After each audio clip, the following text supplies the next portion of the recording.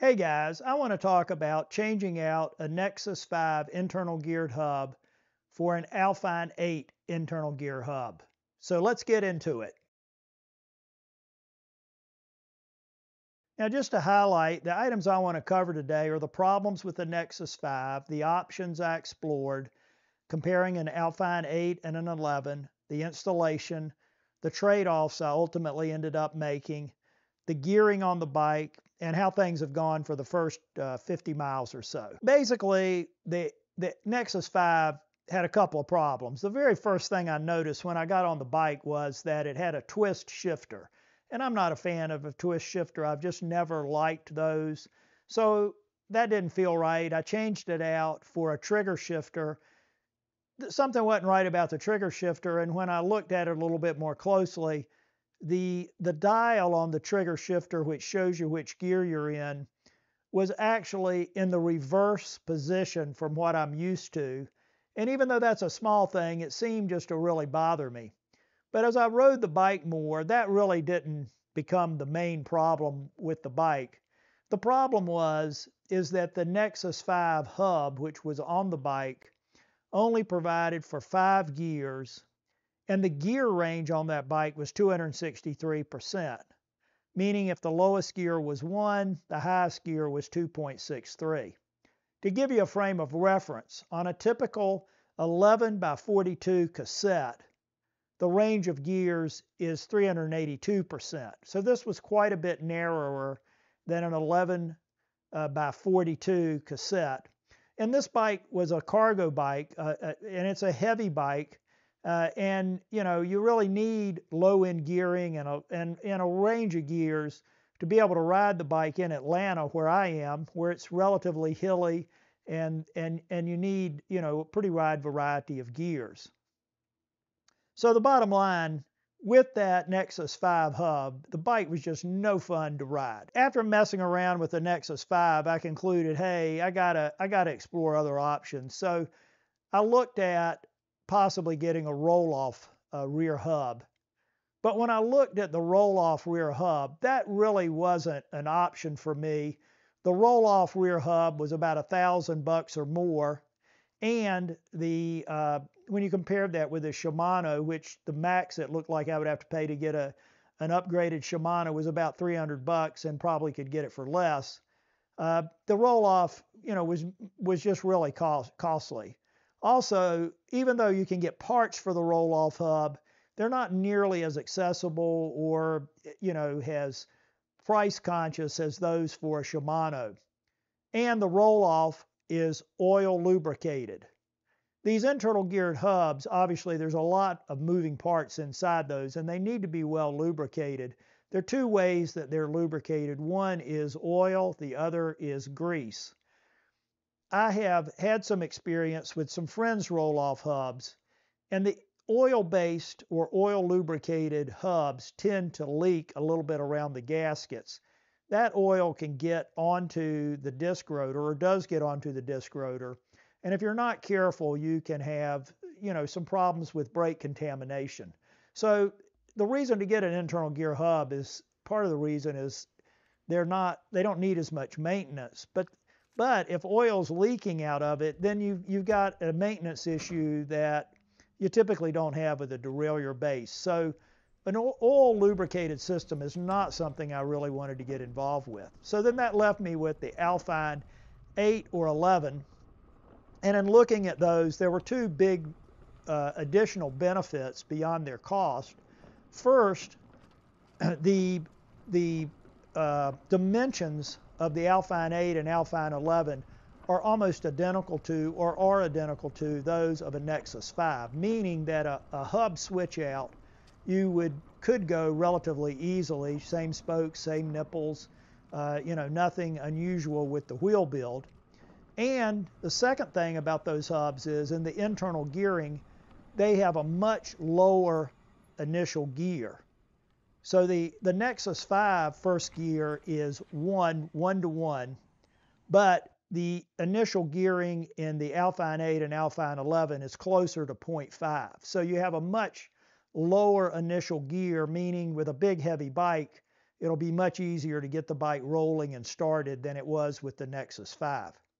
Now, one thing with the Alfine 8 and 11, you can get those with Di2 connectivity, but I ruled out the Di2 connectivity because as I read about the Di2, apparently the Di2 in these Alfine 8 and Alfine 11, people have experienced some connectivity issues. And what I mean by that is the connection will work great the first time, but each time you connect it and unconnect it, it tends to degrade. And I know with a even though I don't like to remove a rear wheel very often, you do have to remove it for chain issues, new tires, tubes, flats.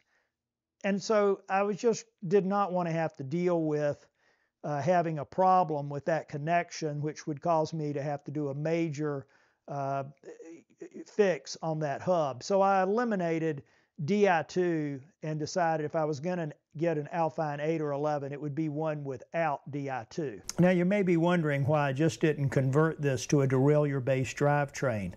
And this bike is a Momentum Pakyak and it's sold by Momentum in other markets using a derailleur. But I contacted Momentum directly and they weren't willing to give me any information that would help me make the conversion, nor were they willing to sell me the parts so that I could make the conversion on my Pakyak. So as a result, my only real option was just to stay with some type of internally geared hub. So then my choice was basically down to an Alfine 8 or an Alfine 11. Now, the Alfine 8 has a big thing going for, I'm sorry, the Alfine 11 has a big thing going for it. It has a wider gear range.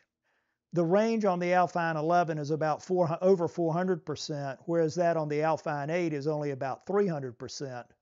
But the Alfine 8, even though this is mainly anecdotal, doesn't seem to be as durable as the Alfine 8, and it's oil lubricated, similar to the Rohloff. Now, the Alfine 8 has a very solid track record. You read numerous posts from people on uh, message boards and things where they're getting a long life out of the Alfine 8. Also, the Alfine 8 is grease lubricated. And another important consideration when you look at the Shimano literature, the Alfine 8 is uh, recommended or approved for use with large, heavy cargo bikes. And the Alfine 11, uh, that's not mentioned. So the Alfine 8 can go with a big cargo bike, and that's what I was going to be putting it in.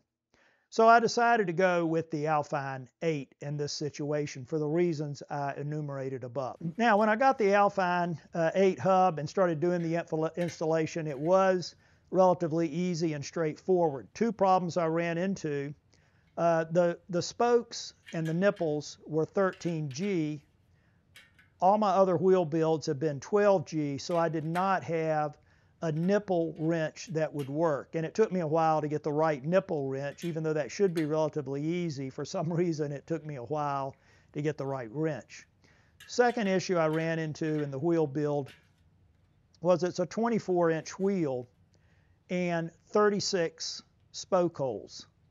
So the distance between the spokes is, is, is limited and I build wheels with a tension meter. And to get the tension meter in and get an accurate reading under those very tight uh, circumstances was difficult. Now, I eventually figured out how to do it, uh, but that was, uh, it took me a while to figure that out. And once I got it going, it was just like a, a regular wheel build and no problems. There were no issues with the spokes or the nipples or the rim or the hub. Everything came together well.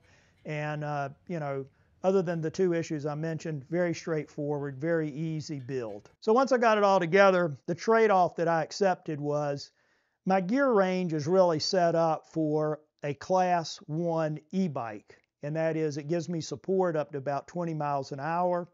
My gear range is set up basically to provide 20 miles an hour worth of, of uh, you know, gearing so the bike is a class three motor on it, and I do not get this. I, I don't have uh, I don't have enough gears to really get up to 28 miles an hour. So I'm leaving some uh, some motor support on the table. I really don't need the 28, even though I have it. So I, I did give that up. But what I picked up for that give up was I've got reliability. I don't have any oil leaks because it's grease lubricated. And all the gear ratios are well within the specifications uh, indicated by Shimano. So right while we're talking about gearing, it's important to understand that the gear uh, range that I ended up with was over 300%, whereas what I gave up was 263. So I got a pretty big pickup in the gear range. And the the ultimate range with the front cog that I selected and everything is very similar to what you would expect with an 1142 cassette. So that's something I have on many of my other bikes and I'm very comfortable with that. Know how it works, know how it feels, know how to shift. So that was a you know a huge uh, improvement and and workout in the gearing. What I have is a 38 tooth chainring on the front and an 18 in the rear. Shimano recommends the front chainring ratio to the rear cog be greater than 1.9. At 38 to 18, I'm at 2.1, so I'm well within the specifications. So overall, my gearing and setup on the bike, something I'm very comfortable with, well within specs and in riding it it feels just like I normally feel on a bike and you know much much better gear ratio. So after about 50 miles it seems to be working really well. Uh, the gearing is much more in line with my comfort level.